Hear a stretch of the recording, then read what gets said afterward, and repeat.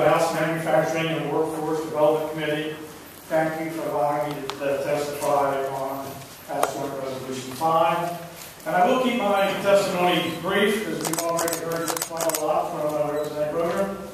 But HJR 5 is legislation to take the issue of workplace freedom to the voters.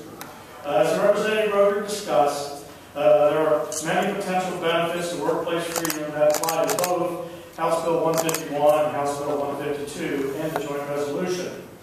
We consider these pieces of legislation to be sister, and the end goal is the same, to make Ohio the 25th right to work state. This legislation provides economic growth and above all, personal freedom. The right of the worker to choose whether or not they want to belong to a union and pay dues. We believe that these two principles go hand in hand, and as cited in Representative Roegner's testimony on House Bill 151, we look to the success of other right-to-work states as an example.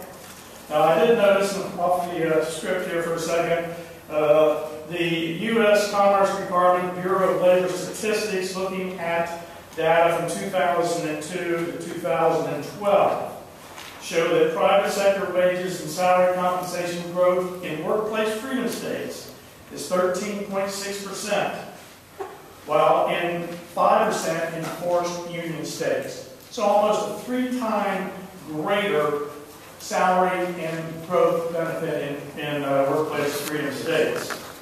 Uh, the most important part uh, is that we start this discussion.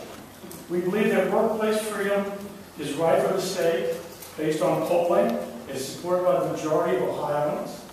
We are committed to civil discussion between all interested encourage both opponents and opponents to have an open mind through these hearings.